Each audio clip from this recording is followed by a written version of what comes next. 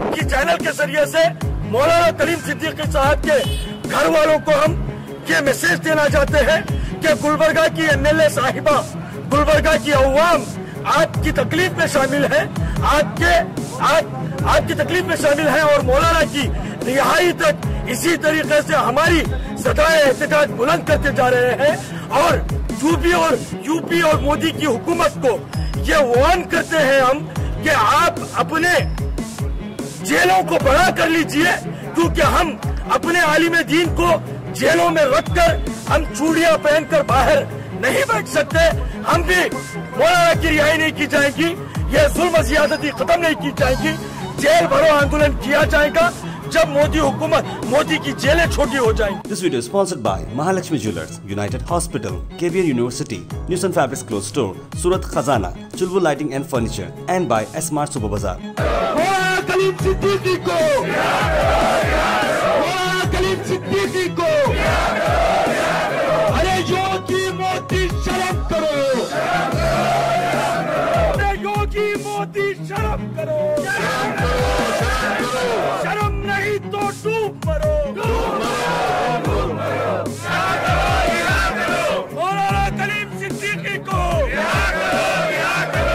गुलबर्गा सीरत कमेटी की तरफ़ से ये एहतजाज किया गया है। तमाम कराम तमाम सीरत कमेटी के ज़िम्मेदारान और तमाम आवाम जो गुलबर्गा की यहाँ जमा हुई है, मैं पहले तो उन सबका शुक्रिया अदा करना चाहूँगी। आज अच्छा प्रोटेस्ट रहा, साइलेंट प्रोटेस्ट था ये, मौलाना कलीम सिद्दीकी साहब को रिहा कराने का। और इन ताला उम्मीद है कि जल्द से जल्द मौलाना को रिलीज़ किया जाएगा, वरना हम लोग सड़कों पे आके, रोड पे आके हम लोग प्रोटेस्ट करेंगे, हाई लेवल पे और प्रोटेस्ट करेंगे।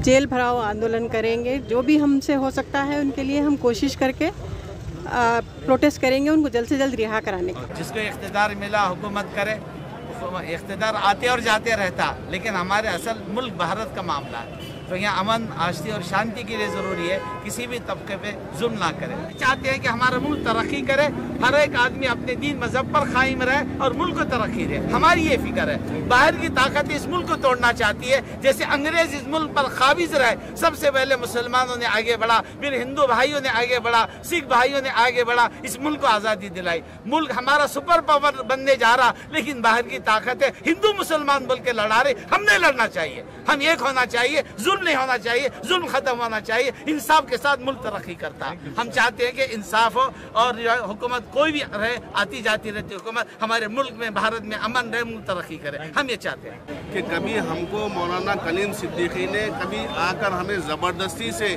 इस्लाम कबूल नहीं कराए क्योंकि वो इतने बड़े आदमी हैं जबकि एक आलिम दीन हैं और दीन के इस दीन का पैगाम पहुँचाने वाले हैं। लेकिन कुरान हमारा ये बता रहा है कि दीन के के दीन के अंदर ज़बरदस्ती नहीं है तो इतना बड़ा आदमी कैसा काम कर सकता है? लेकिन ये इल्ज़ाम लगाकर और मुख्तलिफ़ तरीके से उनको टार्चर दिया जा रहा है, ये हम इसकी मजम्मत करते हैं। हिंदुस्तान के अंदर जहाँ पर भी उलमाए कराम के ऊपर ज्यादती होगी, जुल्म होगा, हम गुलबर्गा के मुसलमान मुतहद हैं, बराबर उनके खिलाफ आवाज़ उठाते रहेंगे भाभी माँ की क़्यादत में बराबर ये बात को जहाँ तक दिल्ली तक। दिल्ली से आगे भी ये बात को अगर पहुंचाना रहे तो इंशाल्लाह। आज फिर एक बार हिंदुस्तान वही चौराहे पे आके खड़ा हुआ है कि जो है ना, पहले जो गोरे अंग्रेज़ों से आज़ादी दिलाए अब ये काले अंग्रेज़ों से आज़ादी दिलाना है, भारत को सेक्युलर रखना है तो मुसलमानों को आगे बढ़ना है। ये समझती है भाजपा कि मुसलमानों में फूट डालेंगे और हमारा राज चलाएँगे। लेकिन मुसलमान कोई भी तबके में बटे रहो, लेकिन एक रसूल के और एक कुरान के मानने वाले लोग हैं। जब भी किसी ईमान ईमान वालों पे हमला होगा, हिंदुस्तान के 20 करोड़ मुसलमान गुलबर्गा के डीसी ऑफ़िस पे ही नहीं, बल्कि मोहतरमा के क्यादत में दिल्ली का भी घेरवाया करेंगे, पार्लियामेंट का भी घेरवा करेंगे। तो आज उलमाए कराम को, गुलबर्गा के उलमाए कराम को हमने इस बात की गुजारिश की, इस बात का तयकुन दिलाया कि आप ऐसे बुजदिलाना कार्रवाई जो हुई है मौलाना के साथ, इससे डरने, घबराने की कोई ज़रूरत नहीं है। आप आगे बढ़िए, संविधान हमें इजाज़त देता है। अगर आप पर बुरी नज़र उठेगी तो हम आपके सामने अपने सीनों को पेश करेंगे। आपको किसी किस्म से खौफजदा होने की कोई ज़रूरत नहीं है। और साथ ही साथ, आसाम में जो एट्रोसिटीज हो रहे हैं, उसको भी आज गुलबर्गा से कंडम किया गया और वहाँ की आसाम की पुलिस जो नामर्द है, मजलूमों के ऊपर जुल्म कर रही है, उनके सीनों पर गोलियाँ मार रही है, उनके घरों को खाक की ढेर में तब्दील कर रही है।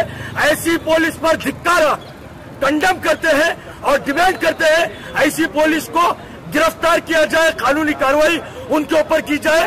और मौलाना ने एटीएस ने जो गिरफ़्तार किया है, उन ऑफिसर के ऊपर भी कानूनी कार्रवाई की जाए और आसाम में हो रही जुल्म ज्यादती को बंद किया जाए।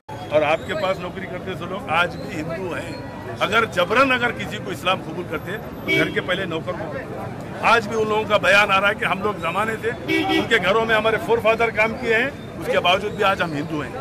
लोग अखलाक, मौलाना कलीम सिद्दीकी और इस्लाम के अच्छा ही देखकर लोग जब इस्लाम में आ रहे हैं तो उनको जो है बाबा प्लान करके जो है पकड़ा जा रहा है कि भाई ये जो जबरन जो है इस्लाम कबूल करा रहे हैं और फंडिंग ले रहे हैं। मैं समझता हूँ कि ये जो है आरएसएस और बजरंग दल वाले पूरे अथराइज जो है एटीएस कुछ बनाकर जो है इसको जुल्म किया जा रहा है। इसके वजह एक ही है। कि आने वाले इलेक्शन यूपी में इनके पास कोई एक ब्रिज बताने को जगह नहीं है, एक स्कूल बताने के लिए जगह नहीं है, ना एक जो है रोड बताने के लिए जगह है। इनके पास सिर्फ़ मुसलमानों को जो है तकलीफ़ देने की बताकर अपने वोटों को अपने करीब लाने की कोशिश कर रहे हैं। मगर इंशाल्लाह इस टाइम यूपी के मुस्लिम दलित, ओबीसी और जितने भी एस सी हैं, ये इंशाल्लाह जवाब देंगे। कि वे आने वाले इलेक्शन में योगी और बीजेपी को तल तल्ला साफ़ हो यहाँ पर ये अनडेमोक्रेटिक जो कामें हो रहे हैं, ये ख़ास तौर से इनको साढ़े चार साल तक कुछ नहीं दिखा जब से ये योगी की सरकार यूपी में आई। साढ़े चार साल तक कुछ नहीं दिखा। पिछले पंद्रह दिन पहले यही मौलाना के साथ, हमारे, यही मौलाना के साथ आरएसएस के जो चीफ हैं, भागवत उन्होंने ख़ास तौर से मिलकर, मौलाना से बात कर कर, भाईचारगी की बात कर कर हिंदू मुसलमान की बात कर कर, यही मौलाना थे वो। मगर पंद्रह दिन में ऐसा क्या हुआ? जो मौलाना अचानक धर्म परिवर्तन कर रहे हैं, मौलाना ऐसा कर रहे हैं, ये कुछ नहीं है। वहाँ यूपी में इलेक्शन चल रहे हैं। यू यूपी में इलेक्शन की वजह से पोलराइज करने के लिए मौलाना के साथ ये किया गया है। गुलबर्गा ज़िले गुलबर्गा ज़िला सीरत कमेटी की जानब से जो आज प्रोटेस्ट किया गया डीसी के ज़रिए से प्रेसिडेंट ऑफ़ इंडिया और चीफ जस्टिस ऑफ़ इंडिया को एक मेमोरेंडम दिया गया है। अगर ये यहाँ से हमारी बात नहीं सुनी जाती है तो आने वाले दिनों में हमारे मौलाना जेल में रहे, हमें यह बर्दाश्त कतई नहीं होगा। हम यहाँ पर जेल भरो आंदोलन तमाम यहाँ के लोगों से मशवरा कर कर हम यहाँ पर जेल में आंदोलन This video is sponsored by Mahalakshmi Jewelers, United Hospital, KVR University, News and Fabrics Clothes Store, Surat Khazana, Chulbul Lighting and Furniture, and by Smart Super Bazaar.